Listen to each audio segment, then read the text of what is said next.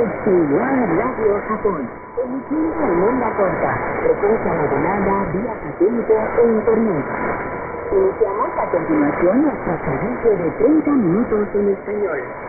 Encontrarán información detallada sobre los días y horarios de transmisión en nuestro sitio web nhk.jp barra. Gracias por sintonizarnos.